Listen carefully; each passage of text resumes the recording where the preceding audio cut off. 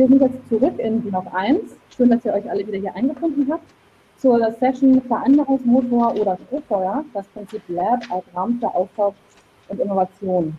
Dabei geht es um reale und virtuelle Erprobungsorte, Experimente und dadurch den praktischen Kompetenzaufbau, der bei der digitalen Entwicklung, wie wir alle wissen, eine wesentliche Rolle spielt.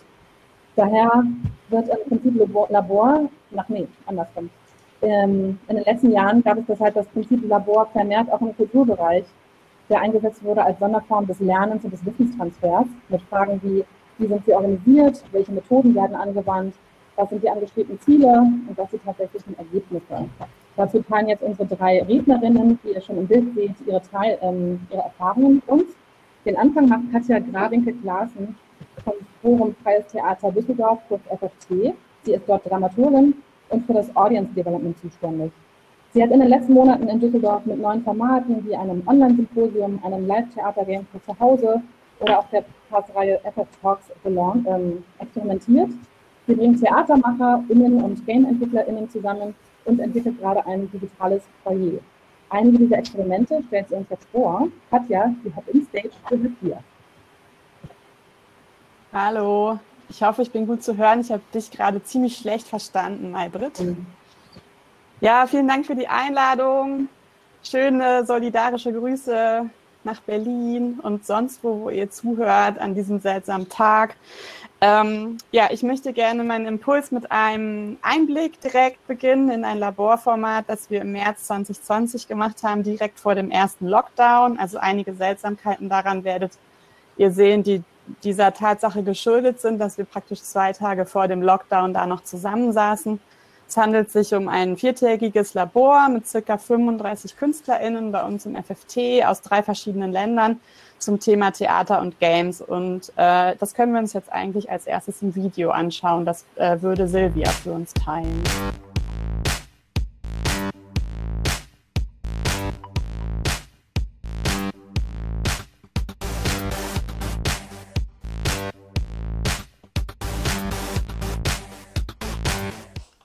Werden jetzt dann runtergehen und uns allen anschauen, was in den letzten Tagen passiert ist.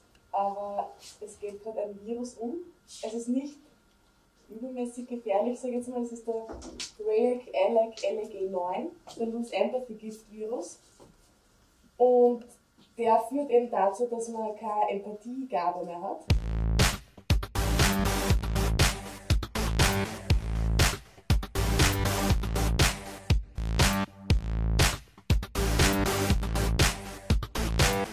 Das hier ist äh, ein Gesprächsanlass, um einmal darüber zu reden.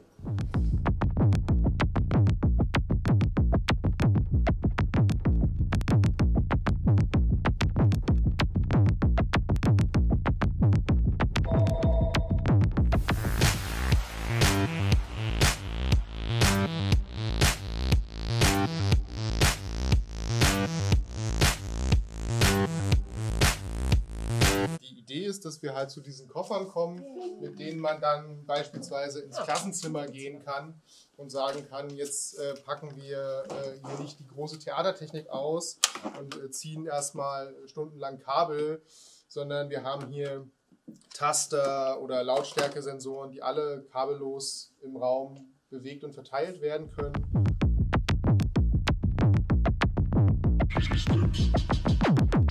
Drei haben uns in den letzten ähm, Tagen natürlich äh, sowohl ähm, privat als auch äh, auf verschiedenen anderen Ebenen mit dem Coronavirus beschäftigt.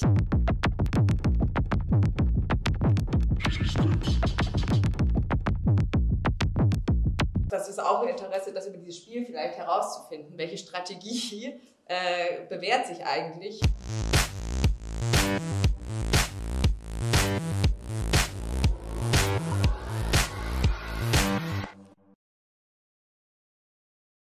Ähm, vielleicht habt ihr einige Leute, ähm, vielleicht haben sich einige selbst erkannt. Ich habe gerade schon gesehen, dass Dirk Schindler zum Beispiel hier in der Session ist und Susanne Schuster, die auch in diesem Video zu sehen waren. Also das war tatsächlich ein ziemlich besonderer Moment. Die Herausforderungen bestanden unter anderem darin, für uns eine Situation zu planen und zu organisieren, die eine größtmögliche Offenheit beinhaltet und Ressourcen für einen Prozess zur Verfügung zu stellen. Das klingt vielleicht irgendwie so banal, für ein Theater ist es das nicht unbedingt. Es lag der ganzen Veranstaltung eine Kooperation zugrunde mit der Gruppe Machina X und dem Studiengang Spiele und Objekt an der Hochschule Ernst Busch in Berlin. Und das Arbeiten im Netzwerken und das äh, Arbeiten im Labor passen meiner Meinung nach sehr, sehr gut zusammen. Das würde ich direkt schon mal so als einen Stichpunkt festhalten, den ich immer an der Stelle sehr wichtig finde. Eine der kritischen Fragen bei Game on Stage war, wie schafft man äh, sich Regeln, auch in offenen Prozessen oder gerade in scheinbar offenen Prozessen. Offenheit darf nicht verwechselt werden mit der Übernahme impliziter Strukturen, haben wir festgestellt. Und das ist eine Lehre, die, glaube ich, gerade auch verschiedene Kulturinstitutionen ziehen, die sich hm, Formate wie zum Beispiel äh, den Hackathon zum Vorbild nehmen. Also das Stichwort ist hier auch sowas wie strukturelle Diskriminierung. Offenheit darf nicht verwechselt werden mit einer Lehre an Strukturen. Es, wenn man, glaube ich, versucht, sehr offen zu arbeiten, muss man eben aufpassen, dass man dabei nicht aus Versehen äh, auf Strukturen zurückfällt, die es schon gibt und ähm, die wir eigentlich abschaffen wollen, die vor allen Dingen mit Diskriminierung und Repräsentation zu tun haben. Ja, also ich ähm, arbeite schon seit acht Jahren am FFT in Düsseldorf. Ich weiß nicht, ob, das, äh, ob, ob viele von euch uns kennen. Das FFT ist ein Produktionshaus für freie darstellende Künste.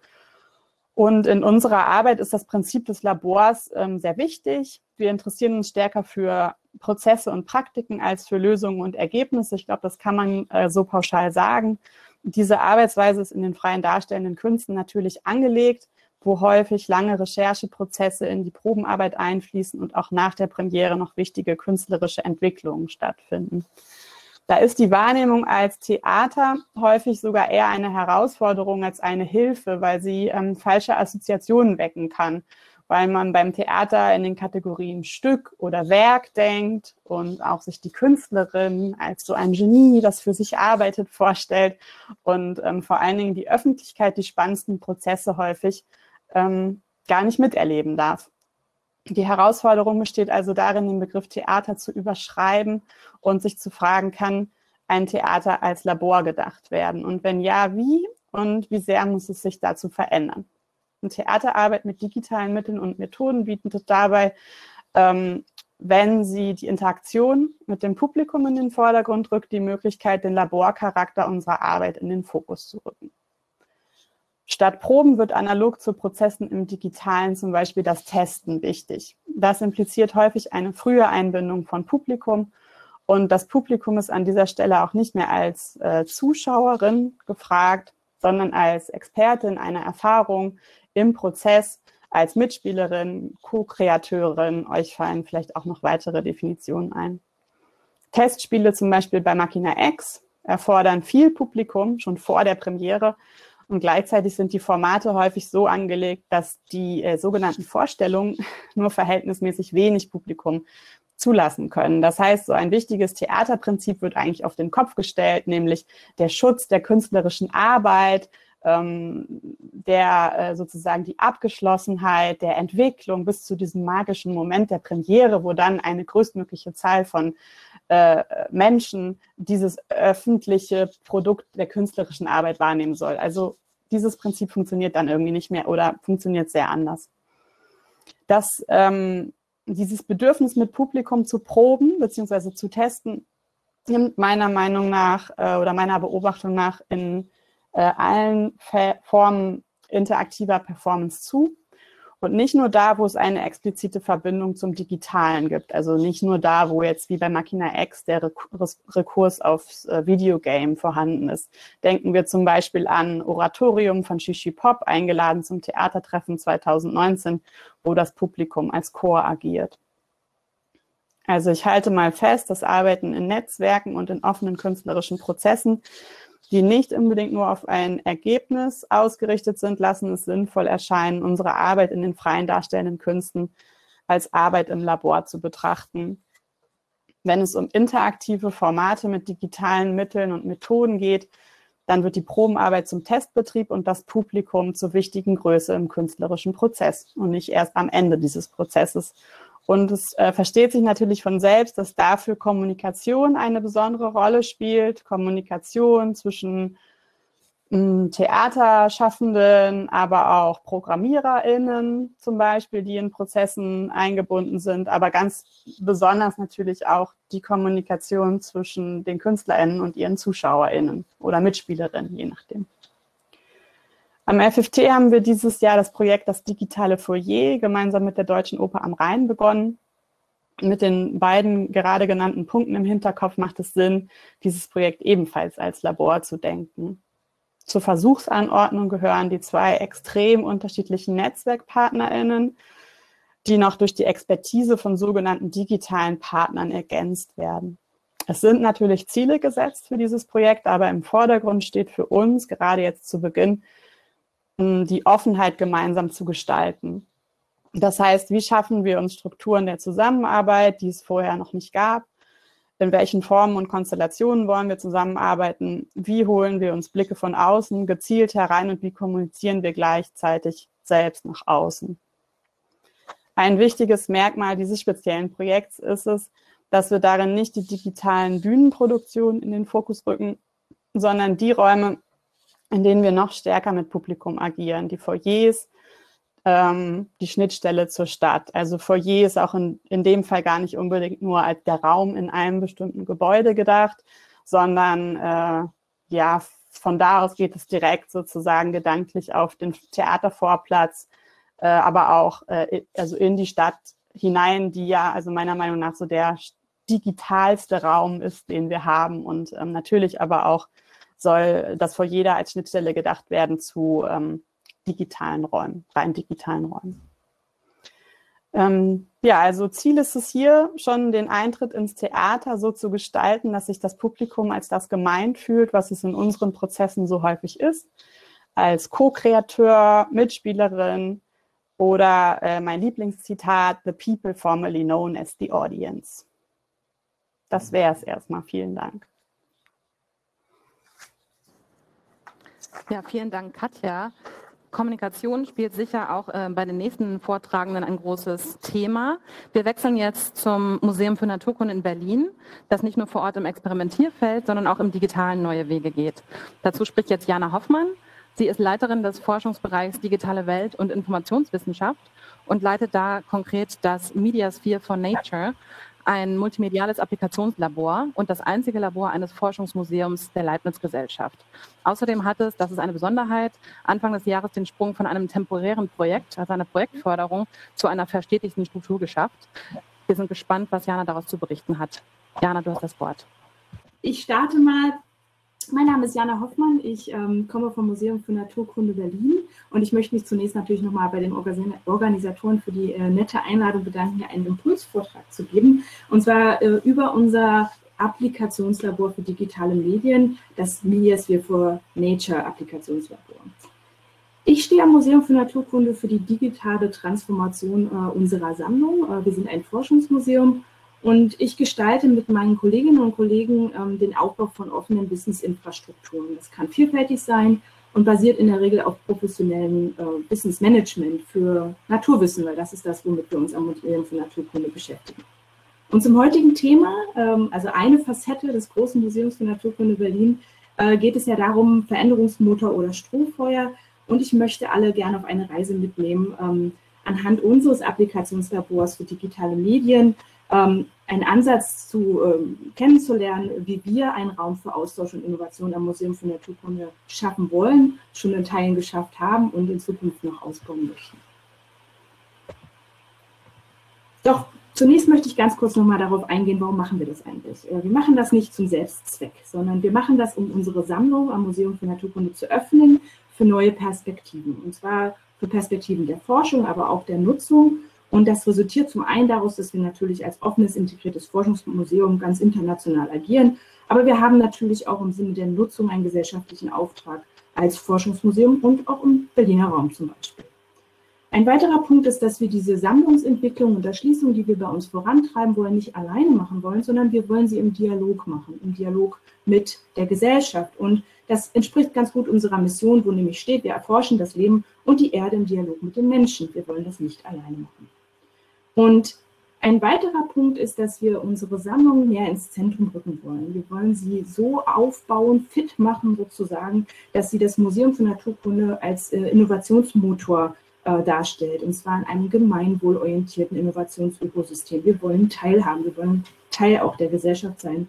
Und dafür müssen wir Brücken bauen, weil das nicht unbedingt in einem sehr traditionellen äh, Naturkundemuseum alles vorhanden ist, weder die Schnittstellen noch die Strukturen. Also haben wir mit dem äh, Applikationslabor versucht, die notwendigen Rahmenbedingungen und Vermittlungsstrukturen zu schaffen und ähm, eben diese Mediasphere von Nature aufgebaut. Doch wofür steht das eigentlich? Was ist das eigentlich? Ähm, die Mediasphere von Nature ähm, äh, ist dafür da, am Museum für Naturkunde ganz spezifisch Innovationsförderung zu betreiben und den aktiven Transfer von Wissen und Inhalten aus dem Museum in die Kultur- und Kreativindustrie zu fördern. Das war der Hauptauftrag und ist nach wie vor der Hauptauftrag dieses Labors. Und wie machen wir das? Wir wollen offene Zugangspunkte schaffen, sowohl digital wie analog und den Wissensaustausch zwischen den sogenannten Lerneinrichtungen, also Galleries, Libraries, Archives und Museums, mit den kleinen und mittelständischen Unternehmen der Kultur- und Kreativindustrie und Kultur- und Kreativschaffenden äh, herzustellen. Ähm, dabei wollen wir Impulse geben für neue Produkte und neue Serviceinnovationen, die gemeinsam mit uns äh, gebaut werden können, die aber wissensbasiert sein sollen. Und wir wollen eben mit diesem Labor, mit dieser Umgebung, äh, diese Zusammenarbeit insbesondere auch mit der Kultur- und Kreativindustrie koordinieren. Also dass das nicht diffus an einem großen Haus wie unserem funktioniert. Und dafür wurden wir gefördert, und zwar für drei Jahre durch ähm, die Strukturmittel Regionalfonds, EFRE-Mittel und dem Senat Berlin. Und das Projekt offiziell Naturkunde 365, wo die Mediasphere von Nature hervorgegangen ist, wurde offiziell im Januar 2020 abgeschlossen. Und es gibt sie noch, und dazu werde ich jetzt gleich noch mehr sagen.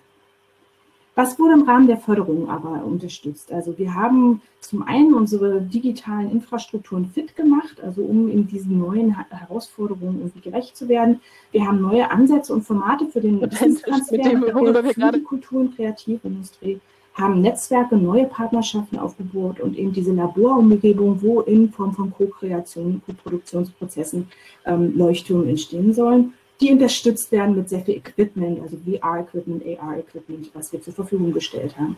Und all das, was ich gerade gesagt habe, ist unsere Mediasphere for Nature. Es ist also nicht ein Raum, sondern es ist vielmehr ein Portfolio von Angeboten, von Strukturen, von Prozessen, von Rahmenbedingungen und natürlich auch technischem Equipment. Und darauf möchte ich kurz jetzt nochmal im Detail ein bisschen genauer eingehen. Wir haben verschiedene Aspekte beleuchtet, also diese digitale Öffnung für neue Perspektiven wurde vorhin auch schon angesprochen. Zum einen mussten wir uns als Museum fit machen. Also fit, unsere technische Infrastruktur musste verbessert werden. Wir haben zum Beispiel ein Medienrepositorium aufgebaut und Schnittstellen, um unsere digitalen Inhalte besser nutzen zu können. Im Januar 2021 wird dann auch unser Rechercheportal erstmals online gehen. Aber all das sind nur Werkzeuge. Die Medien selber, die digitalen Inhalte müssen aufbereitet werden, sie müssen thematisch zusammengefasst werden oder sie müssen mittels Storytellings äh, zu geleiteten Inhalten werden. Das alles ist eben in diesem Rahmen ähm, von narrativen und äh, digitalen Medien ähm, vorangetrieben worden. Die neuen Partnerschaften haben wir uns, wir haben natürlich uns gesagt, wir können das nicht alleine machen. Es macht ja auch keinen Sinn, wenn wir nur aus uns heraus uns ausdenken, was denn vielleicht unsere neue Partner brauchen könnten, sondern wir haben das ganz aktiv mit den Kultur- und Kreativschaffenden gemeinsam gestaltet in den Jahren und haben eben äh, Partnernetzwerke aufgebaut und gepflegt und gelernt zu pflegen und auch gelernt, einander zuzuhören. Und wir haben das über verschiedene Austauschformate gemacht, wie Meetups, Brunches. Und ich bin besonders stolz, dass wir trotz Corona dieses Jahr auch unseren virtuellen äh, Meetup äh, halten konnten, der auch sehr gut besucht war und zusammen mit dem Deutschen Museum in München gemeinsam gestaltet worden ist. Wir haben thematische Veranstaltungen, die ganz spezifisch ähm, zum Beispiel zu Nachhaltigkeit ähm, kommunizieren und wir haben doch sehr viel investiert in die Kommunikationskanäle, die auch vorhin schon angesprochen worden sind. Sowas wie Twitter, Social Media, aber eben auch eine Webpräsenz und ein Blog, wo wirklich, ähm, sag ich mal, alltagssprachengerecht unsere ähm, Erkenntnisse aufbereitet worden sind. Hier ein kleines Beispiel von einem ähm, Event, wo wir gemeinsam äh, über äh, digitale Infrastrukturen gesprochen haben. So, und die Ansätze von Co-Produktion äh, haben wir habe ich ein kleines Portfolio mitgebracht, ein kleines, ähm, ein paar Demonstratoren, was wir gemacht haben im Laufe der Projektlaufzeit. Und wir sind aber weiter daran, genau diese ähm, Partnerschaften und, und Co-Kreationsansätze zu fördern. Das können zum Beispiel Demonstratoren sein, die mit unseren Medien entwickelt worden sind, mit unserem Wissen, äh, wirklich richtige Wissensprodukte, Machbarkeitsstudien, also ganz vielfältig, hauptsächlich natürlich im digitalen Raum. Hier ein Beispiel der Animal Beatbox, die auf der Grundlage von Tierstimmen aus unserem Tierstimmenarchiv im Hackathon von Coding Da Vinci mit einem Team gemeinsam entwickelt worden und weiterentwickelt worden ist. Oder ein barrierefreies Krokodil. Inklusion ist ein großes Thema, auch für Museen wie unseres. Und wo auf der Basis wirklich eines in der, unserer Sammlung befindlichen Krokodils ein, ähm, ein traktiles Krokodil entstanden ist, wo also bestimmte Punkte da sind, wo man anfassen kann und Informationen zu diesem Krokodil bekommen kann. Und es basiert eben wirklich auf einem authentischen äh, Krokodil. Oder ein sehr erfolgreiches wirklich Produkt, was wir gemeinsam entwickelt haben mit ähm, der Interactive Media Foundation und Filmtank, die VR-Installation Inside Tumo Komakwe, wo man wirklich in die Sinne von Amazonastieren einsteigen kann über eine VR-Anwendung und erfahren kann, und rechts sieht man das, wie ein Frosch seine Umgebung wahrnehmen würde. So als künstlerische, halbkünstlerische Interpretation, die doch aber auf Wissen basiert. Und ein anderes schönes Beispiel, wie man das auch wieder in den Raum zurückbringt, ist unsere Augmented Reality äh, Immersive Storytelling App, der Vogelfinder, der also unseren historischen Vogelsaal, der nicht zugänglich ist für die Öffentlichkeit normalerweise, äh, mittels einer äh, geleiteten AR-Anwendung, mittels Smartphone erfahrbar gemacht hat. Und das haben wir getestet und geschaut, wie wir damit zurechtkommen. Das sind nur ein paar Beispiele, was wir in der Vergangenheit gemacht haben. Und ähm, ich habe jetzt hier den kleinen Spruch, wir sind gekommen, um zu bleiben und gegen das Strohfeuer zu argumentieren. Also im Rahmen des Zukunftsplans hat das Museum für Naturkunde eine sehr substanzielle Förderung bekommen für den Bau, den Gebäudekomplex, aber auch für unsere Sammlungserschließung und die Wissenschaftskommunikation.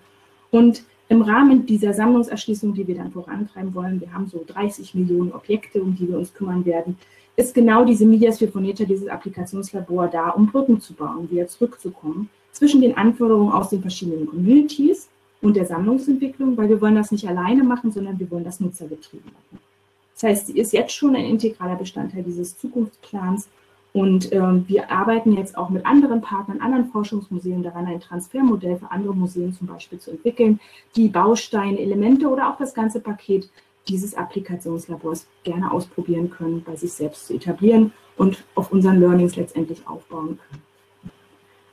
Ich möchte einen kleinen Hinweis noch geben dazu, äh, wie wir das einbetten, auch kommunikativ gibt es also diese Kampagne äh, Natur Digital vom Museum für Naturkunde Berlin, wo auch neben den Angeboten, die ich jetzt hier vorgestellt habe, noch andere Angebote zusammengefasst werden im digitalen Bereich, die das Museum gestaltet. Und damit bedanke ich mich für die Aufmerksamkeit. Gut, ja, also vielleicht äh, kurz zu mir. Ja. Also mein Name ist äh, Clemens Neulicke. Ich bin Referent für Forschung an der Staatsbibliothek zu Berlin, Preußische Kulturbesitz. Ähm, also auch von mir nochmal vielen Dank für die äh, Gelegenheit, hier über die Labs zu sprechen. Ich finde es auch ganz schön, wie schon also ausgehend von der, äh, von der Einleitung von Nikolas bis über das, was die beiden Kolleginnen schon jetzt hier dargestellt haben, ähm, dass das sehr gut, glaube ich, auch in dem anschließt, was ich jetzt hier kurz äh, zeigen will.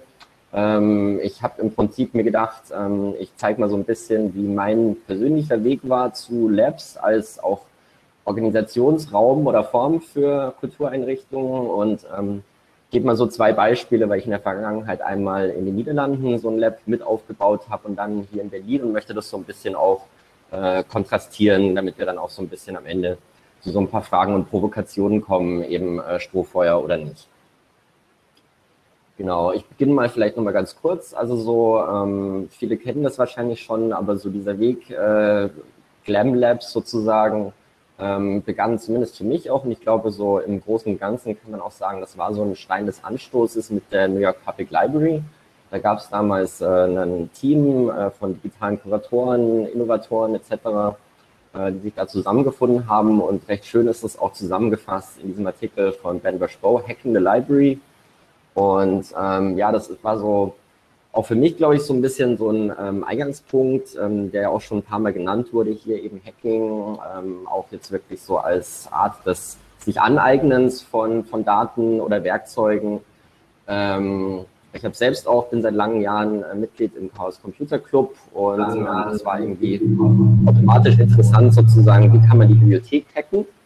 Ähm, das erste Beispiel, was ich dann kennengelernt habe innerhalb Europas, waren die British Library, die also mit äh, Fördergeldern in dem Fall ähm, so ein Lab als Projekt sich mal ähm, äh, aufgebaut haben. Und was ich auch ganz interessant finde, was wenig eigentlich bisher so diskutiert wurde, ausgerechnet dieses scheinende Beispiel der New York Public Library, wo auch dieses schöne Bild hier eben rechts, äh, was hier eingeblendet ist, herkommt. Das wurde so 2016 äh, dann mehr oder weniger ähm, aufgelöst. Also ähm, dieser Bereich des Labs wurde quasi in die Gesamtstruktur integriert, aber auch sehr viele damals der Mitarbeiter, Mitarbeitenden dieses Labs haben auch darüber letztendlich die Library, äh, die Bibliothek verlassen. Also ähm, ist immer so ein Punkt, denke ich, den man noch nicht wirklich in dieser Labs-Community aufgearbeitet hat, warum ausgerechnet so dieser strahlende dieses strahlende Beispiel, worauf viele noch immer zurückkehren, warum es das eigentlich in der Form gar nicht mehr gibt. Genau, dann gab es eine Reihe von Workshops, organisiert eben glücklicherweise durch die British Library, die da eben auch Funding dafür hatte, wo ähm, sich so ein bisschen die internationale Glam Labs Community auch getroffen hat. Und was ganz schön ist, dass dann doch so eine Form von Verstetigung zumindest innerhalb dieser Community ähm, entstanden ist, die dann auch gemündet hat in einem Booksprint in Doha letztes Jahr, wo dann ähm, im Prinzip so eine Art Anleitung, wie man ein Glam Lab ähm, überhaupt startet, ähm, aus diesen Erfahrungen dieser verschiedenen Teilnehmer zusammengestellt wurde. Und ähm, ich habe diese Erfahrung eben auch zweimal gemacht und möchte es mal kurz zeigen, wie unterschiedlich oder wie, wie, wie jeweils die Wege waren. Und zwar einmal eben an der Nationalbibliothek der Niederlande. Äh, da haben wir eben auch diesen Artikel von Ben gelesen und uns gedacht, na ja, ähm, es gab da auch ähm, Kollegen, Kolleginnen und Kollegen, die auch so ein bisschen einen Hacker-Background haben und wir hatten doch tolle Daten, Kulturdaten, die frei sind. Was können wir da machen? Und man hat im Prinzip erstmal auf äh, mit wenig Geld einen externen Server gekauft. Äh, Open Source wurde auch schon vielfach genannt. Einfach mal versucht, Dinge da zugänglich zu machen. Im totalen äh, halben Nachmittagsprojekt. Ähm, und das Ganze hat doch irgendwie so viel Anklang gefunden, dass die Bibliothek gesagt hat, wir machen das als Projekt wir geben euch da ähm, einen gewissen Umfang Freiräume qua Zeit, die ihr sozusagen von eurer Regelarbeitszeit auch verwenden dürft, um euch um dieses Lab zu kümmern, konzeptionell, aber auch äh, um Inhalte zu erarbeiten. Es wurde ein Team zusammengestellt, was auch aus unterschiedlichen Einrichtungen, aus Bereichen der Bibliothek geformt wurde. Und es gab tatsächlich auch ein bisschen Geld. Und ähm, so hat man dann sukzessive versucht, diese Inhalte ähm, aufzubauen. Was ganz wichtig war, dass man eben auch sich hier so ein bisschen als Ziel gesetzt hat, man möchte einen Fokus legen auf die Öffnung speziell äh, zur Forschung hin. Äh, Digital Humanities ist da natürlich ein großes Thema und ist sozusagen mit dem Team des Labs und ein paar Daten durch die verschiedenen Forschungsinstitute gezogen. Also das Lab auch wirklich proaktiv ähm, vorgestellt. Und das Ganze hat relativ positive Früchte getragen, sodass also seit 2017 das äh, Lab der äh, Niederländischen Nationalbibliothek auch als fester Programmbestandteil sozusagen der Dienste und Angebote der Bibliothek äh, etabliert wurde. Ähm, es hat ein neues Design bekommen. Ihr könnt euch das angucken hier unter labkw.nl. Und äh, Lilly Klebeder, die Generaldirektorin der KB, die wir da unten sehen, hat also 2018 auch verkündet, also es ist mittlerweile ein Essential Service äh, im Portfolio der Bibliothek. Ist also quasi auch in der Verstetigung angekommen.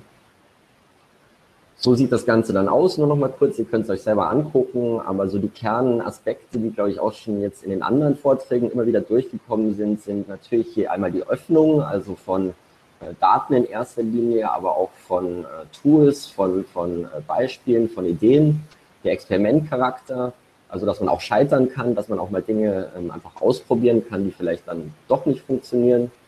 Ähm, dass man das Ganze in einem partizipativen Wege machen will, also sozusagen nicht aus der Bibliothek heraus bedienen, sondern Dinge gemeinsam erarbeiten und natürlich idealerweise dabei auch voneinander lernen. Genau, dann kam ich vor ähm, mittlerweile sieben Jahren in die Staatsbibliothek in Berlin und ähm, natürlich gab es auch dort viele interessante Daten und viele Kolleginnen und Kollegen, die sich auch für die Idee begeistern ließen. Aber auch hier muss ich wieder sagen, das Ganze eigentlich aus so einem Graswurzelaspekt heraus ähm, haben wir uns eigentlich da erstmal mit ein paar äh, willigen und mutigen sozusagen zusammengetan und auf der Basis unserer Blogplattform einfach mal so eine äh, Website erarbeitet, wie sowas ähm, aussehen könnte, basierend auf den Daten äh, der Staatsbibliothek Berlin.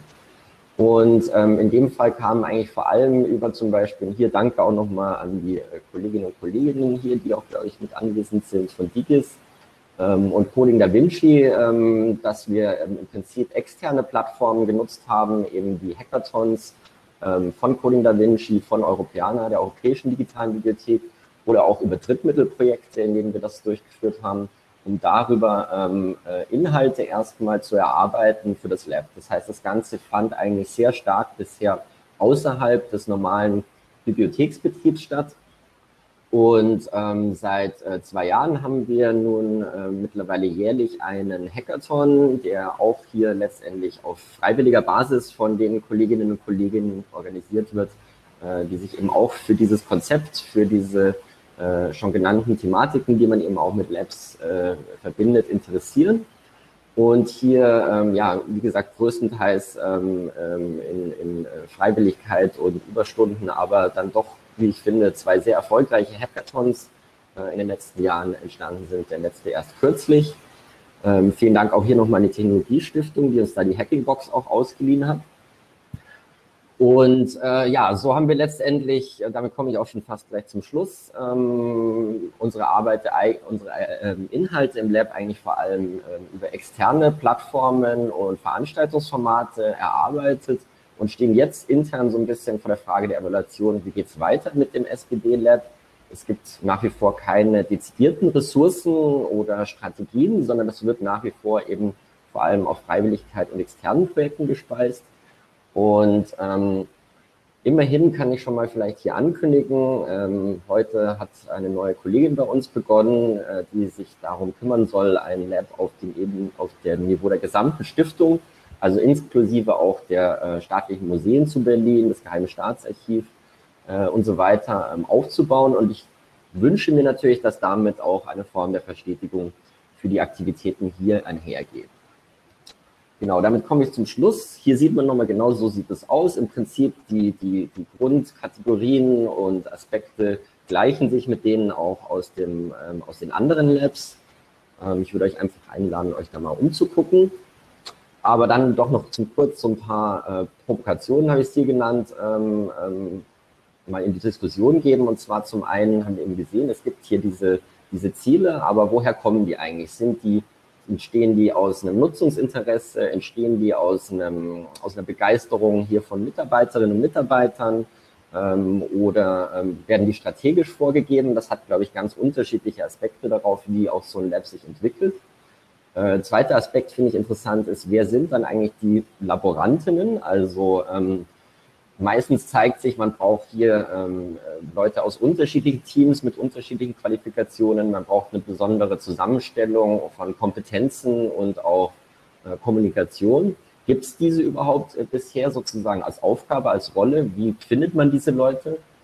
Und als letztes eben der Aspekt, der auch schon mehrfach, mehrfach genannt wurde. Ähm, es geht letztendlich aus meiner Sicht auch nicht darum, hier nur äh, Daten sozusagen möglichst über APIs oder zum Download anzubieten. Das ist auch schön, aber wie können wir tatsächlich auch die Kontrolle über die Verwendung und sozusagen die, die, die Ermächtigung der Nutzer äh, wirklich, sich diese Daten zu eigen zu machen. Wie können wir die ähm, herstellen und sind die Einrichtungen, die die Daten sozusagen verwalten, äh, überhaupt schon dazu bereit, diese Kontrolle abzugeben? Genau, ja. vielen Dank. Vielen Dank, Clemens. Ich hoffe, ihr könnt mich jetzt wieder hören. Äh, sorry, dass die letzten zwei Moderationen ins Nirgendwo gingen. Ähm, Clemens, du hast schon einen super Auftakt gemacht für die Q&A. Da würde ich gerne die Frage gleich an Katja weitergeben, weil Jana gerade nicht bei uns ist. Ähm, zu dem Thema Teilhabe. Wer sind denn aktuell eure LaborantInnen und sind das die, die ihr gerne haben möchtet? Oder zum Thema Outreach und Zielgruppen, wo würdet ihr gerne noch ran, Katja? Ah, das kann man ähm, gar nicht unbedingt parallel so beschreiben. Also das habe ich ja, ähm, hat man in diesem Video vielleicht nicht so gut gesehen, aber habe ich jetzt direkt gedacht. Also da, äh, das sind sehr unterschiedliche Laborformate. Bei uns sind das die KünstlerInnen. Ne? Also, und ich habe mich auch gerade gefragt, was bei uns im Theater eigentlich die Daten sind. Also ähm, das Publikum kommt natürlich an der Stelle mit rein, wo man irgendwie sozusagen diese Testing-Verfahren oder so als Teil von Probenarbeit betrachtet. Aber ich glaube, im Theater ist das schon auch nicht zu verkennen, wenn man sich äh, mit einer ganzen Menge von Einzelkünstlerinnen und Gruppen trifft und alle bringen ihre eigenen Ideen mit und man teilt erstmal relativ offen und, ähm, und bildet vielleicht auch so neue, neue Allianzen oder so, ne? weil äh, gerade in der freien Szene ist das an der Stelle ja schon sehr stark von einer Konkurrenz eigentlich geprägt. Jeder muss ein geniales Projekt entwickeln, muss es einreichen und dafür Förderung bekommen und dann guckt man sich gegenseitig an. Und das ähm, wäre jetzt so ein Prinzip, an dem man diese, also im Lab, das so ein bisschen diese, diese Formate so aufhebeln könnte. Ne? Und das, was du jetzt Outreach genannt hast, das findet meiner Meinung nach an einer anderen Stelle statt. Clemens, wie sieht es denn bei euch aus? Hast du die Laborantinnen, die du gerne hättest? Ähm, ja, also hoffentlich jetzt zumindest sind wir, haben wir eine Person sozusagen, aber das ist bisher, ähm, es ist tatsächlich, sage ich mal, eine Coalition of the Willing ähm, von, ähm, ja, wie gesagt, größtenteils Leute, die sich eigentlich so ein bisschen für diese Idee interessieren und vielleicht auch schon äh, persönlich ähm, versucht haben, im Rahmen ihres eigenen Arbeitsbereichs oder ihrer eigenen Projekte solche ähm, solche Aspekte eben wie mehr Öffnung, mehr Partizipation, äh, Experimentieren ähm, auch umzusetzen. Und ähm, für uns war das zum Beispiel insofern sogar ganz interessant, dieses Lab ähm, für die Staatsbibliothek mal hochzuziehen, weil wir darüber auch ähm, im eigenen Haus sozusagen Kolleginnen und Kollegen erst identifizieren konnten, die äh, bereits schon im stillen Kämmerlein oder in ihrem Fachbereich da ähnliche Aktivitäten sozusagen äh, verfolgt haben aber ähm, sozusagen noch keine institutionelle Plattform oder Form der Zusammenarbeit äh, dafür gefunden haben. Äh, das ist der eine Aspekt intern und der andere Aspekt ist natürlich schon auch der extern, dass wir sagen, wir wollen eben hier ähm, natürlich unsere Daten anbieten, aber wir wollen hier nicht letztendlich die Leute anleiten, wie sie diese Daten nutzen oder selbst irgendwelche Anwendungen hier promoten, sondern äh, die Anwendungen, die wir hier sozusagen zeigen, die sind alle von Dritten erarbeitet worden. Und wir wollen natürlich eigentlich dabei auch gerne lernen und besser verstehen, wie wir für diese unterschiedlichen äh, Gruppen, die ganz äh, verschiedene Interessen haben, äh, wie sie die Daten verwenden wollen oder was sie für Ideen haben zur Zusammenarbeit, wie wir für die sozusagen dann auch ähm, ähm, entsprechende Angebote schaffen, wo sie sich, ähm, wo sie sich auch äh, willkommen fühlen. Ja. Und ich glaube, da ist auch wieder, da, da ist sicherlich auch wieder dieser wichtige Punkt eben, dass man da ähm, eine spezifische Öffentlichkeitsarbeit auch braucht und eine spezielle Kommunikation auch. Klar. Wir verlieren leider Jana am Ende der Session. Silvia, hast du noch Fragen stellende, die mit Video dazukommen? Jana ist gerade mit Handy wieder, nein, und wieder raus. Schade. Ja, wir haben leider technische Probleme mit Jana. Ich hoffe, dass das irgendwie noch funktioniert. Jetzt versucht sie es nochmal. Hallo Jana, ich hoffe, das klappt jetzt? jetzt besser. Du müsstest den Computer kurz mal muten, sonst hören wir dich im Loop mit Handy. Genau, wir haben genau, ähm, zwei Videoanfragen von Sarah Oertel und Martin Delius. Ähm, die haben mir aber keine Rückmeldung gegeben, ob sie tatsächlich eine Frage haben oder einfach nur sichtbar sein wollten. Ähm, also an alle, ihr könnt natürlich in der freien FAQ-Session ähm, jetzt Fragen stellen mit Video und Audio, wenn ihr das möchtet, nicht nur im Chat. Genau, Jana, ich hoffe, das klappt jetzt besser mit, ähm, ja, dass wir uns hören. Das ist witzig, dass es beim Handy jetzt besser geht als mit dem Laptop. Keine Ahnung, was das ist. Ja, sorry. Ja, Jana, ja, schön, dass wir uns jetzt das erste Mal hören. Wir hatten gerade die Frage, ob du im Labor, also in euren Laborformaten schon die Leute erreichst, die du gerne hättest, oder hast, siehst du da noch äh, Ausbaupotenzial? Also prinzipiell würde ich sagen, ja, wir haben definitiv die Leute erreicht, äh, die wir wollten. Und das Ziel war ja tatsächlich im Berlin-Brandenburg-Raum auch wirklich die Kultur- und Kreativschaffenden zu erreichen.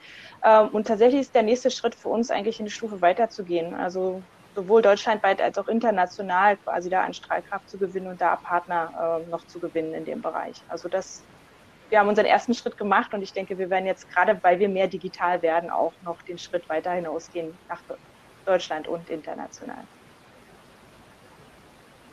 Okay, super. Dann vielen Dank euch dreien für eure Impulse. An euch alle, die hier zuschauen, entschuldigt die Technik. Wir sind hier halt äh, auch selbst in einem Experimentierformat mit Hop-In. Da ist definitiv noch Ausbaupotenzial. Wir machen jetzt hier im Block 1 eine Pause Wenn ihr am Bildschirm bleiben möchtet, dann könnt ihr jetzt über den Sessions-Icon auf der linken Seite in den Freiraum wechseln. Dort stellt sich dann eines der Förderprojekte der aktuellen Runde vor. Das ist Kuliba, Kulturdigital barrierefrei. Thorsten Hesse und Matthias Strobel von Handicap e.V. und von Music Tech e.V. stellen dort ihr Projekt vor. Wir haben dort Platz für 20 Teilnehmerinnen. Ihr könnt also auch in Video und Audio untereinander diskutieren. Alle anderen können zuschauen.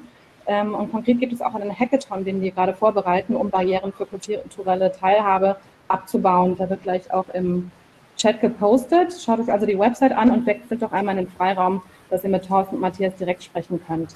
Hier geht es gleich um 14.45 Uhr. Hier heißt im Block 1, also wieder des Sessions Block 1 weiter, mit Kultursenator Dr. Klaus Lederer und seinem Beitrag Schwerpunkt Digitalisierung. Wo stehen wir, wollen wir hin? Also bleibt hier in der Session und chattet untereinander. Dann geht es um 14.45 Uhr mit dem Programm weiter oder wechselt in den Freiraum oder macht euch eine kleine Bildschirmpause. Bis gleich in 13 Minuten.